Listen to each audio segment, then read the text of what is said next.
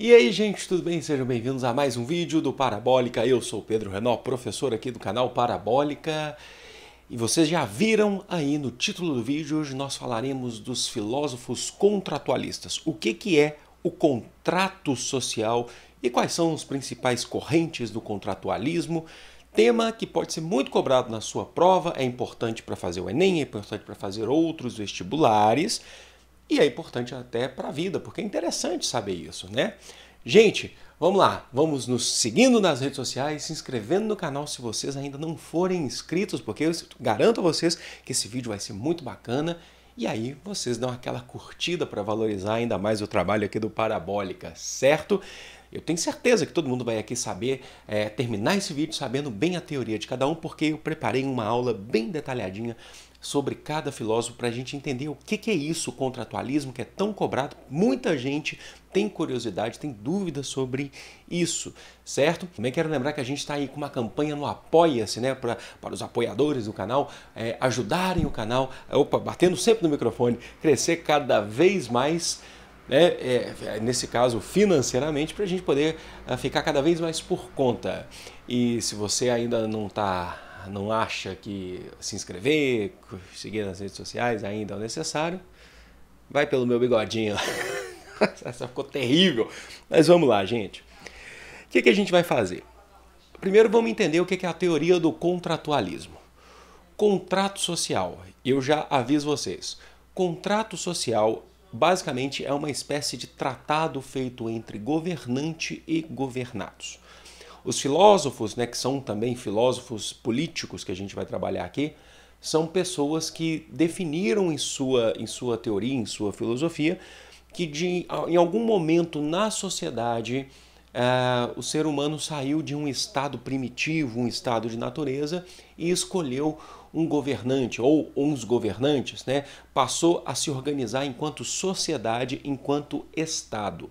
Então, os filósofos que vão falar disso, eles vão falar para a gente que ou houve esse momento de contrato social, que seria um pacto, né, para organizar uma sociedade, sair de um estado natural né, e partir para um estado organizado, ou que aconteceu em determinado momento, deixa eu ver minha gola aqui, aconteceu em determinado momento da, da história, ou que alguns que propõem que deve acontecer dessa maneira certo? Então isso é o que, o que é o contrato social. É uma espécie de escolha, é uma espécie de, de dar direito a um Estado, dar direito a um governante. E isso pode ser feito de várias maneiras, de acordo com a teoria de cada filósofo que a gente for falar aqui, tá? Então assim, pode ser por voto, pode ser por, por, né, por escolha religiosa, tanto faz, porque assim, cada filósofo vai passar de uma maneira para a gente aqui, certo? E aí a gente tem vários filósofos que, que, trabalham com a ideia do contrato social, mas a base, que é o que a gente precisa saber para poder diferenciar, que as provas de vocês podem pedir essa diferenciação, são três, que seria Thomas Hobbes, seria John Locke e seria Jean-Jacques Rousseau. Por que, que eu estou dizendo isso? Porque a teoria do contrato social, ou a ideia dos contratualistas, ela in... Ai, tá aqui, peraí.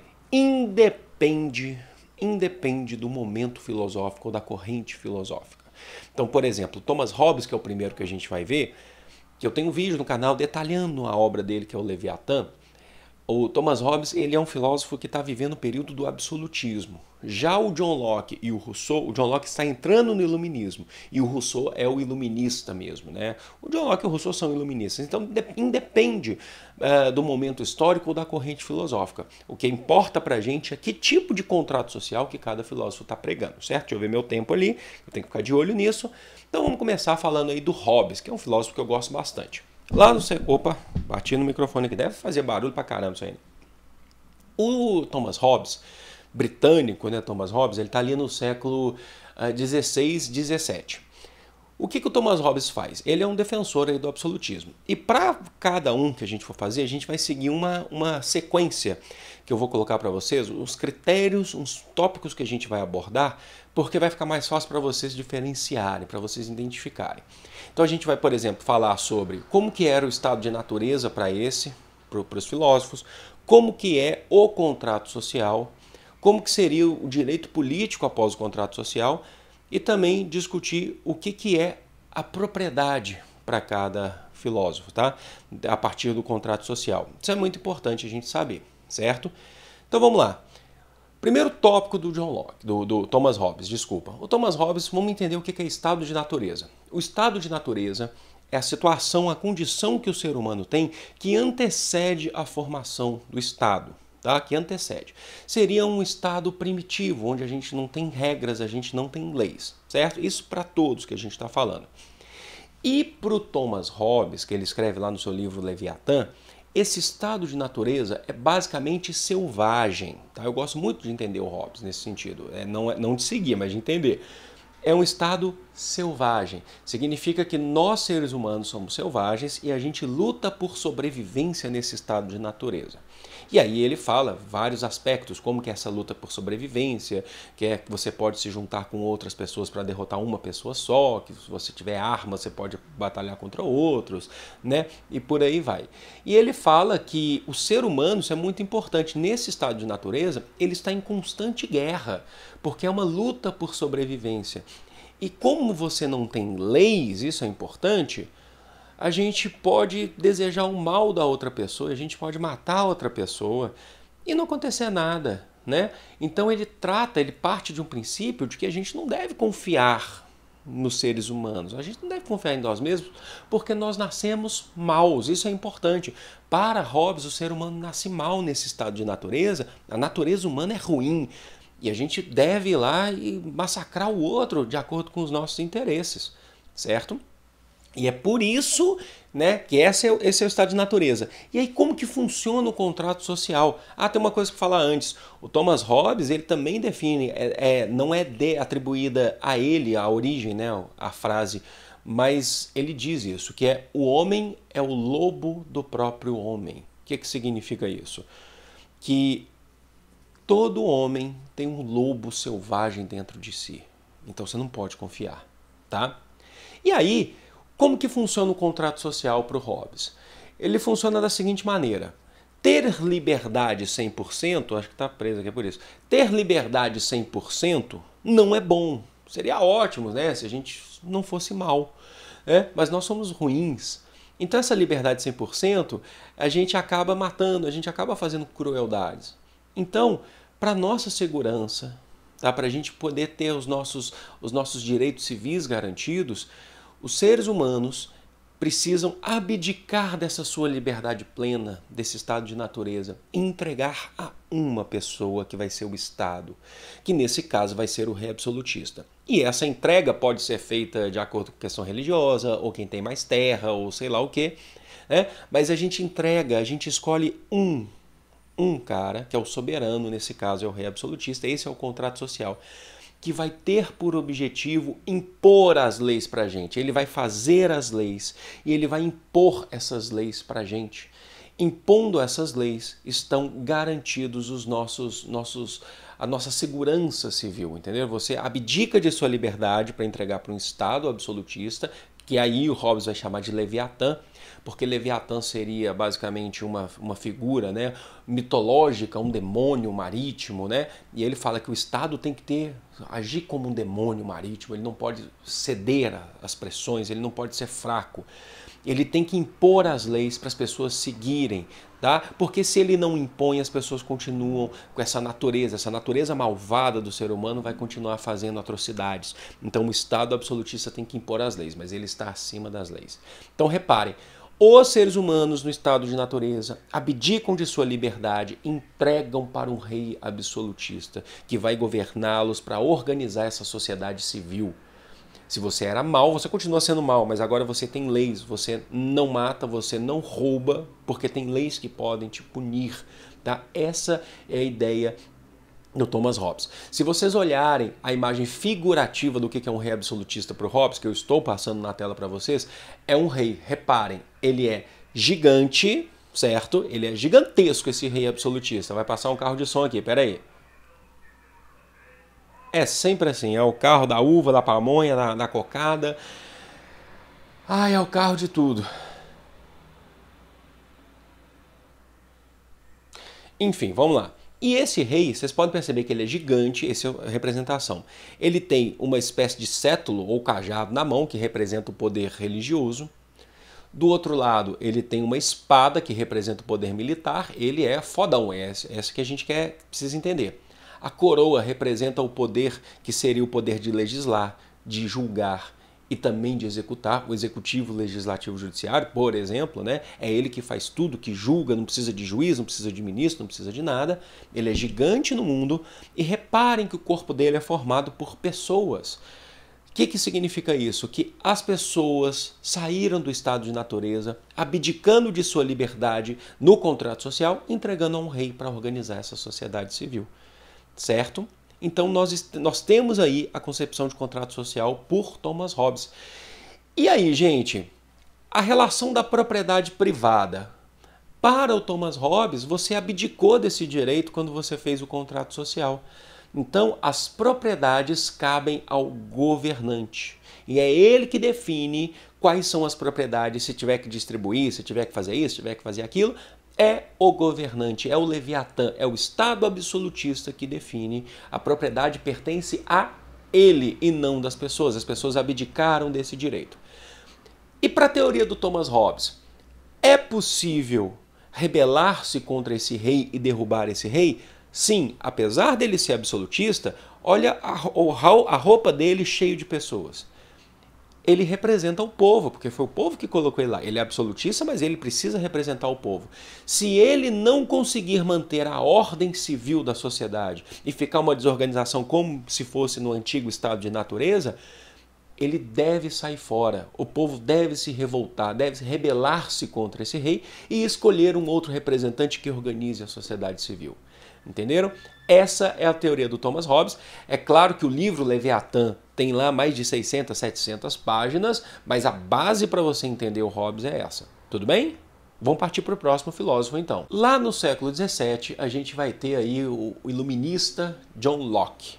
O John Locke ele tem várias teorias. A filosofia é baseada muito na questão da, da pesquisa científica, ele trabalha com a, com a ideia do empirismo, né, da, da, experimentação, mas não é isso que a gente vai falar. Tem um ônibus passando, desculpa o barulho.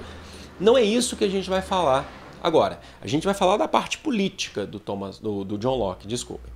Como filósofo iluminista, racional e pertencente à burguesia, Inclusive, a gente teve um processo de revolução inglesa, né, que derrotou o absolutismo inglês, estabeleceu uma república, depois voltou ao absolutismo inglês, e depois a gente vai ter o estabelecimento de uma monarquia parlamentar na Inglaterra, que é o modelo que a gente tem hoje, que foi no século XVII. Isso tem vídeo no canal, o link está aqui no card para vocês assistirem. Que é um, a Revolução Inglesa é um negócio assim que muita gente tem muita dificuldade de entender. Tá? Não é tão fácil assim, mas eu fiz um vídeo que eu, eu considero um vídeo bacana, um vídeo bom, que dá para entender bem, sabe? A Revolução Inglesa. E o que, que acontece? O John Locke participou desse movimento. Ele é contra esse Estado uh, absolutista que o Thomas Hobbes falou, certo? E aí, como que é o estado de natureza para o John Locke? Ele também trabalha com estado de natureza. O estado de natureza, que é aquele estado sem lei, é um estado inseguro, tá? É um estado inseguro. Porque, ó, para o John Locke, o ser humano não nasce nem bem, não nasce nem bem nem mal, é indiferente, tá? Ele não está trabalhando com a ideia do Hobbes que o ser humano nasce mal, é nem bem e nem mal. Porém, o ser humano é capaz de, como ele é um ser racional, mas que também pode ser movido por paixões, por outras coisas, ele pode ser movido inclusive por interesses racionais, pode acontecer coisas ruins. Então, o estado de natureza é inseguro, porque as leis, elas conseguem a organizar essa sociedade, né? Então o estado de natureza é inseguro. E uma coisa muito importante que é que vocês não podem esquecer do John Locke, ele trabalha que todo ser humano tem direitos inalienáveis. E o que são direitos inalienáveis? Essa é assim, a parte chave do John Locke. Direitos inalienáveis, gente, são direitos que nascem com você e que ninguém pode retirar esses direitos de você. E são três, anotem aí no seu caderno, são três direitos inalienáveis. O primeiro direito é a vida, ninguém pode tirar a sua vida. Lá no Hobbes, o rei, Leviatã, podia tirar a vida de um sujeito, se esse sujeito fosse uma pessoa que tentaria tentasse desorganizar a sociedade, né, do estado, do contrato social é, robesiano. Né? O John Locke fala: ninguém pode tirar a vida de ninguém. A não ser que a sociedade como um todo defina isso, mas ninguém pode, né, a sua vida, ela é individual, ela é sua, é uma, um direito inalienável. A segunda é a liberdade. Ninguém pode definir onde você vai viver, onde você não vai viver. Não é questão de prisão, tá? É a sua liberdade de expressão. Ele é um iluminista. O Voltaire, que é o cara que fala da liberdade de expressão, era muito inspirado no John Locke. Então, a sua liberdade de imprensa, de pensamento, de expressão, o direito de ir e vir. Só que o principal direito dele inalienável é a propriedade. Todo ser humano tem direito à propriedade. Aí você fala assim: ah, então tem que fazer reforma agrária e distribuir propriedade para todo mundo? Não.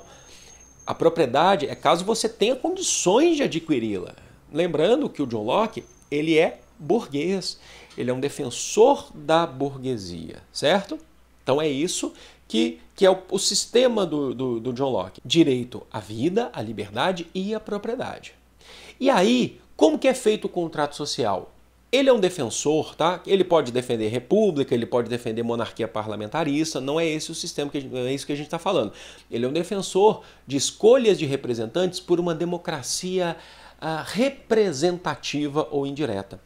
Você escolhe o representante seu. Tá? Você escolhe quem te representa através de um processo democrático. Mas como ele é um burguês, ele vai definir que o povo, ele define regras para essa escolha, que quem pode se eleger, participar politicamente são aqueles do voto censitário, aqueles que têm, que têm uma economia um pouco maior, que têm mais dinheiro, é isso que ele define. Tá? Então ele é, é, um modelo muito parecido com o que a gente tem hoje, nós vivemos uma democracia representativa. Você escolhe os representantes, não é você que governa. Tá? Esse é o nosso modelo de democracia atual. Deixa eu ver meu tempo. E aí o John Locke ele fala isso pra gente. Nós, através do modelo de democracia representativa, que é o nosso contrato social, nós escolhemos os nossos representantes, certo? Não abdicamos da nossa liberdade, nós escolhemos os nossos representantes. E qual que é a função do, do, do contrato social, qual é a função do Estado para a concepção do John Locke? O Estado deve garantir os direitos inalienáveis. Vocês lembram que na natureza era inseguro? Era um momento de insegurança? Agora o Estado deve garantir a sua vida, te proteger através das leis, a sua liberdade e a sua propriedade. É diferente do Hobbes. O Hobbes é absolutista. O Estado fala o que quiser. Ele que define a propriedade. A propriedade é dele. O John Locke não. A propriedade é sua se você tiver condições de adquiri-la financeiramente, principalmente, e o Estado deve garantir os seus direitos, tá? É isso, é um Estado democrático, mas democrático dentro do âmbito da burguesia, tá bem? Então esse é o contrato social uh, pregado, defendido por John Locke, certo, gente? E o último que a gente vai falar, que é o que é iluminista também, que é o, o Jean-Jacques Rousseau, suíço, radicado na França, Jean-Jacques Rousseau. Vamos lá. Estado de natureza para o Rousseau. O estado de natureza, ó, só para constar, Thomas Hobbes, nascemos maus nesse estado de natureza. John Locke, nem bem nem mal. E Rousseau, bom.